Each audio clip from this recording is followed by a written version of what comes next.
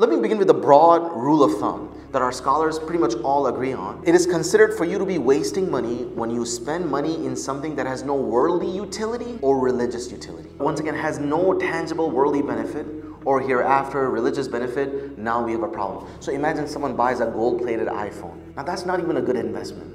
And it depreciates over a period of time. There's not much worldly utility there. That subhanAllah, in the early generations, when the hadith of the Prophet was mentioned, they had such an overwhelming feel. They would experience this sense of gravity that you and I don't necessarily experience today. So one of the great companions of the Prophet ﷺ, Abdullah ibn Mas'ud, like this person knew the Prophet for like 20 plus years. And when you know someone for this long, your dynamic becomes a little chill. You know, things are not as stiff.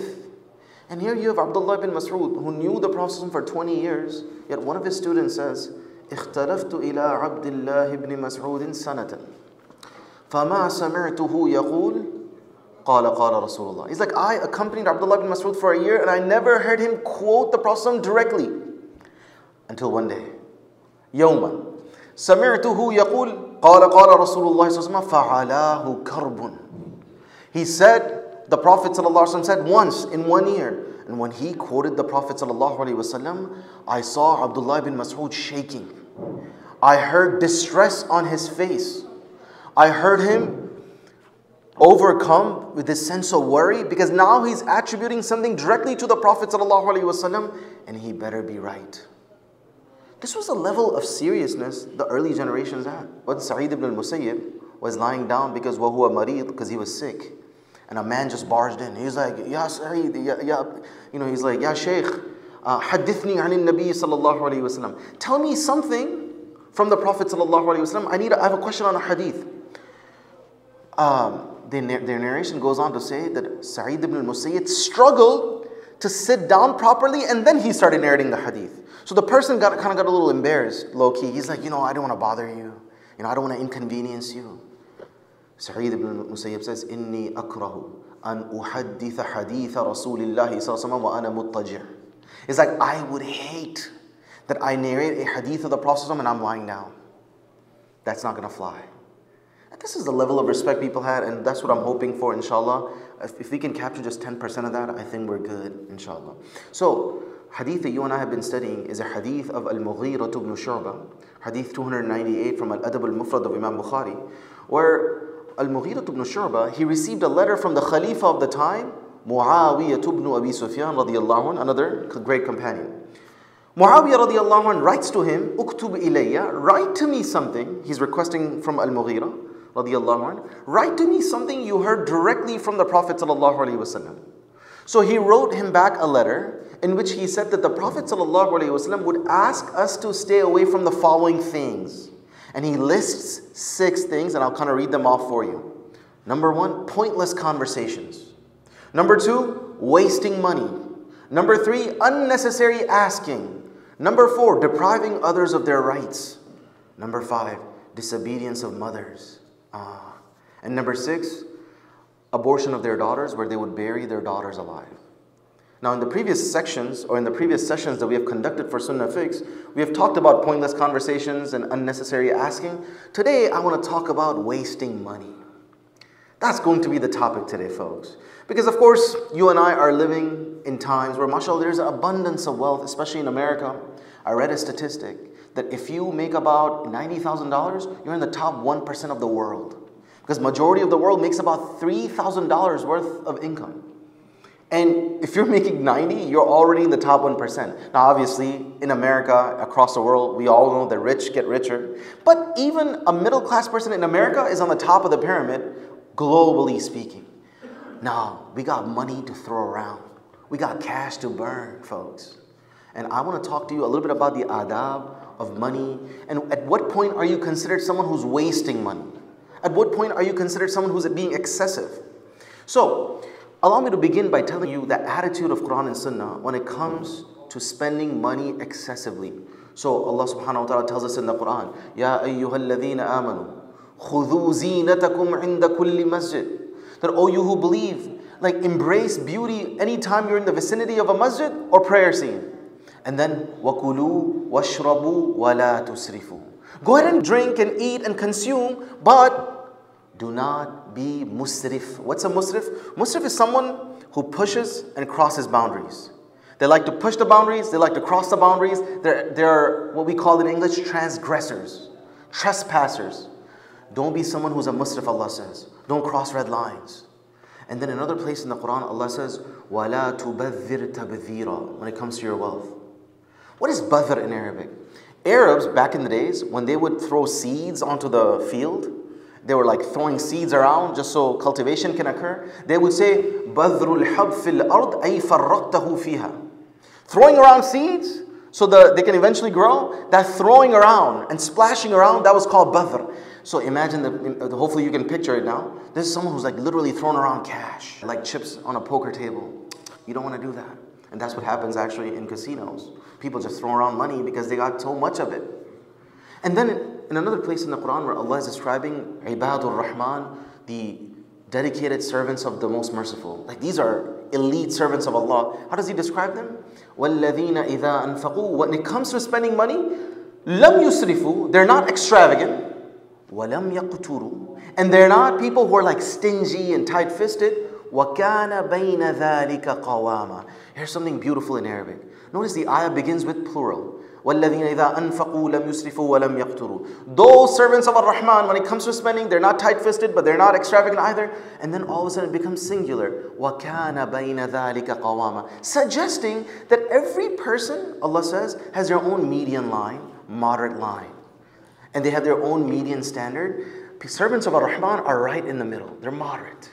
And how do you determine what's moderate for you? It depends on your standard of living, the money that you make, your income bracket. It's really beautiful in the Quran. There's no one standard for everyone in terms of what's extravagant for someone who makes 250K a year, someone making million dollars a year versus someone working on minimum wage. Standard of what's medium for them differs. That's why Allah shifts it to the singular, meaning it's a subjective thing, person by person. And my dear brothers and sisters, our Prophet ﷺ told us that your feet on the day of judgment will not move until Allah will ask you five questions. The first question Allah will ask you is, What did you do with the years of your lives? How did you let them elapse? What did you put them in? And then, specifically when it comes to the days of your lives, Allah subhanahu wa ta'ala will zoom down and say, What about your youth?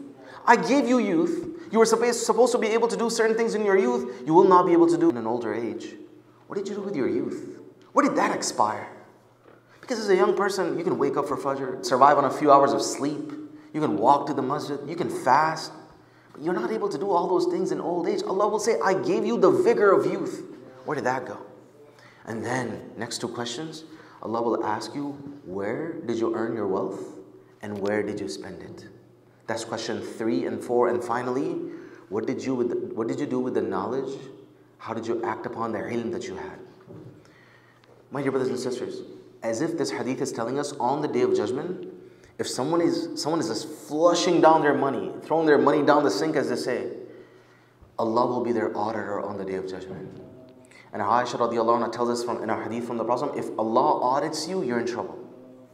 You know, I used to work in the corporate world, so if the corporation or we heard that an audit is coming, there was a sense of dread that would take over. Man, the auditors are coming. They're going to dig up some dirt. They're going to go through all our accounts. They're going to go through our bank statements. No one likes audit because of the things that come up. This is the case with human beings. Yet, we don't shiver at the idea that Allah will open up your accounts on the day of judgment and He'll ask you, You spend 5K on custom rims? Prada glasses, $700? Like, like do, do you and I have a response for this? Now, of course, the sentiment of our Desi brothers and sisters is that, you know, when they hear about the five questions on the Day of Judgment, they're like, you know, brother, alhamdulillah, two questions are at least easy. Where did you make your money from? Most of us are in IT, alhamdulillah, pretty much halal, and we don't really like spending money, so that's going to be an easy accounting. But as for the rest of us, we're a little bit more uh, forthcoming with our spending. Just be careful that it may come up on the Day of Judgment. An audit may take place. And that's why in the early generations, there was a sense of caution about reckless spending of money. Where Imam Ahmad narrates to us in his book At Kitab al-Zuhud that once Jabir ibn Abdullah, man, you gotta appreciate this story. Jabir once passes by Umar bin Khattab on the road, and Jabir is carrying fresh meat.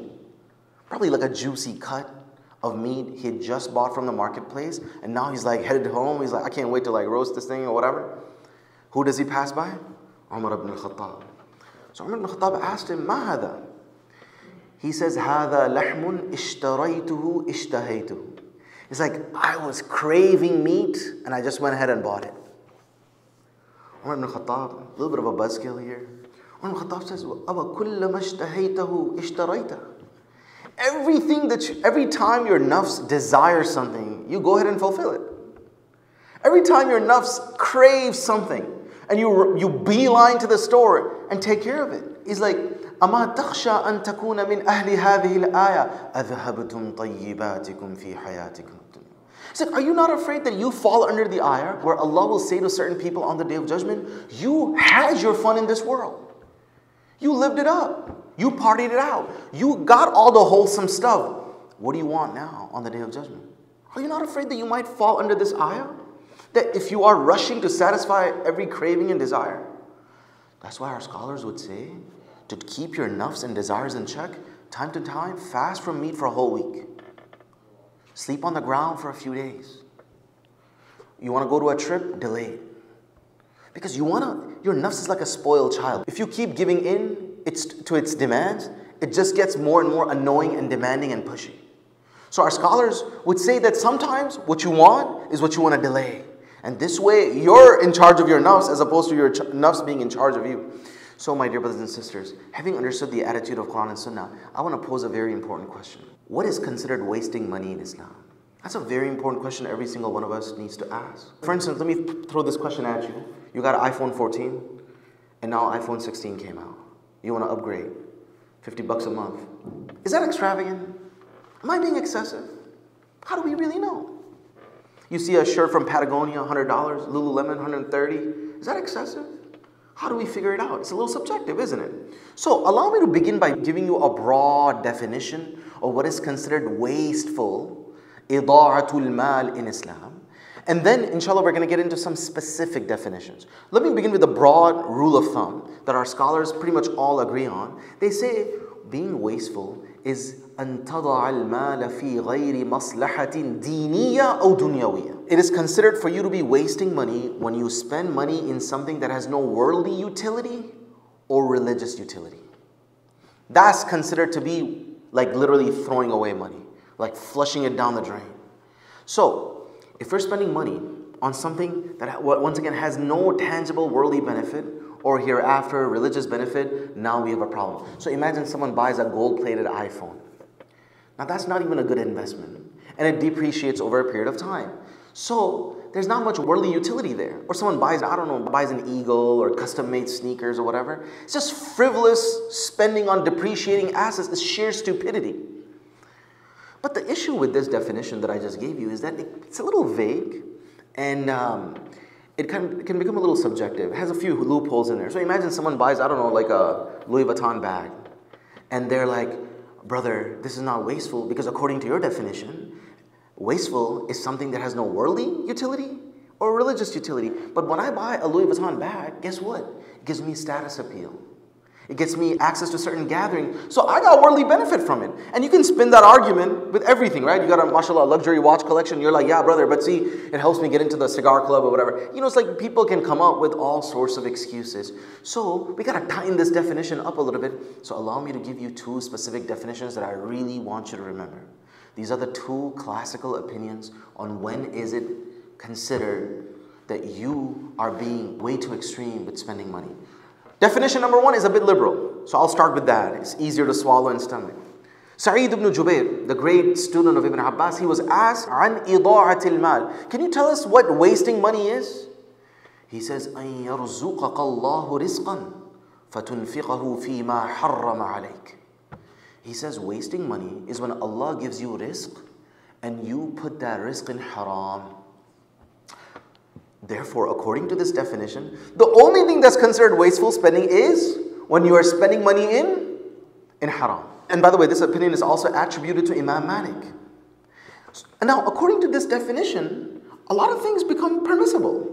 So if you're buying designer clothes, I don't know, even for your pets, and you got this insane watch collection or sneaker collection, technically none of that is haram. So on this definition, technically it's all okay. I don't know about you, but spiritually that doesn't sit very well with me. Here now the second definition comes, which once, once again I incline to a little bit more, and I think it's a more of a practical definition. The second group of scholars, they say actually what is considered wasting money is when someone either spends in haram or they're spending in halal way beyond their means. So back to the ayah of the Quran where Allah says, وَكَانَ بَيْنَ ذَلِكَ قَوَامًا Each person has their own standard of what is considered median, an average for them. Servant of Ar-Rahman, servants of Ar-Rahman, they're right in the middle. Now, spending in halal is permissible so long as you're spending in a way that's considered moderate for you. But if you're spending well beyond your means, where your income bracket cannot afford, now you're considered someone who's mudi'ul mal. You're considered someone who is extreme in spending money. So imagine someone throwing a big fat wedding, all right? They're barely making six figures and they're maxing out their credit cards because you know you gotta impress the uncle, you know, you gotta show your face in the community, you gotta keep up with the Joneses. So this person is like taking out a loan just to throw a fancy wedding. That's considered someone who's wasting money. Or imagine someone whose dad is making minimum wage or his dad is driving Uber and he's like, Dad, I need Air Jordan 1s. Like, dude, poor guy is shopping at Goodwill and you want to buy Air Jordan 1s. That's considered wasteful. Sure, now, if you make 250K a year or more and you're looking into a Benz or a Beamer, an Audi, or a little higher, okay, that's understandable because someone in your income class, probably that's the kind of whip they got, right? That's the kind of car they drive. So that's understandable. But even if you are someone who can afford luxurious things and is considered to be somewhat moderate for someone in your income bracket, our scholars here they say that a believer is still conscious of the fact that when you are spending money, even if it's halal, even if it's considered moderate for you, a believer is always aware of the opportunity cost. Because let's say you make like a million dollars a year and having two, three cars, luxurious ones, not a big deal for you.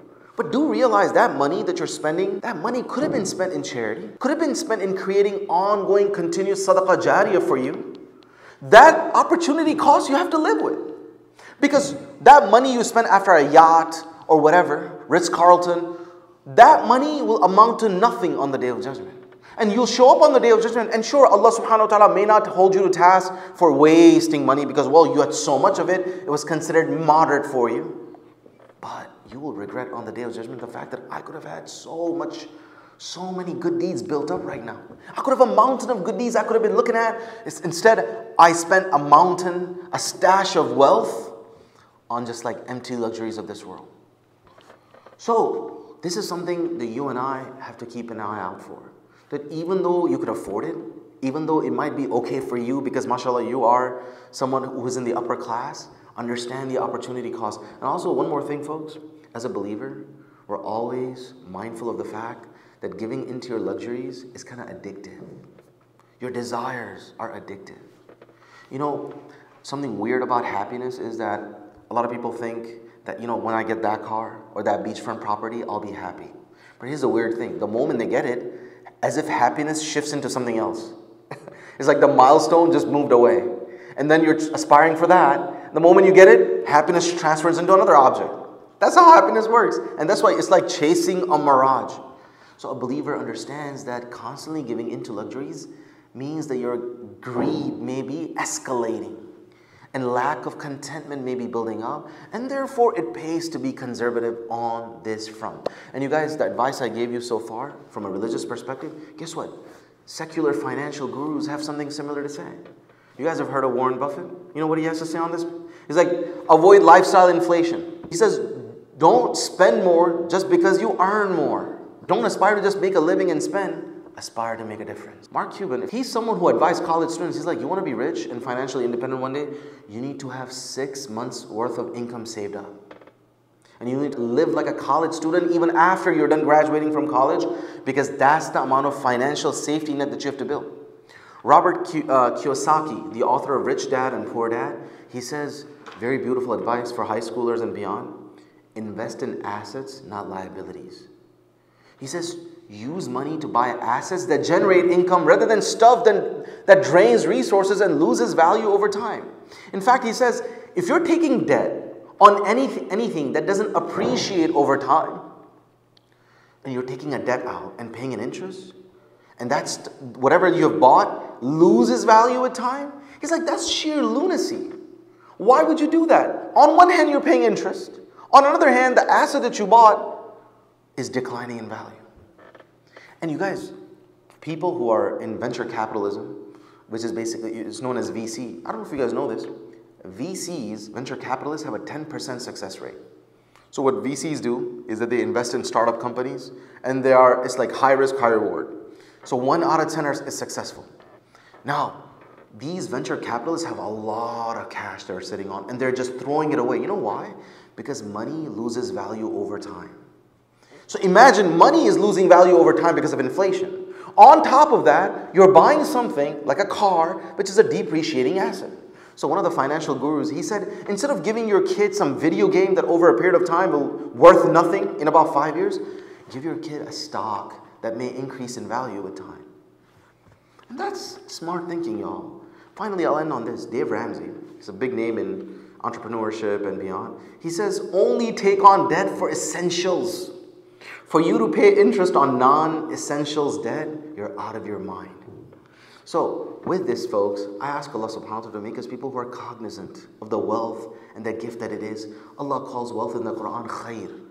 وَإِنَّهُ لِحُبِّ الْخَيْرِ لَشَدِيدٌ إِن تَرَكَ خَيْرًا الْوَصِيَّةُ لِلْوَالِدَيْنِ Allah calls it khair because it leads to khair. It can lead to khair. Don't put it in shar. Be careful. Be conservative on this front. We ask Allah subhanahu wa ta'ala to be people who are financially smart and we are financially responsible and that we're not the ones on the showing up on the day of judgment having to worry about an audit. سبحان ربك رب العزة عما يصفون. سلام على المرسلين. الحمد لله رب العالمين.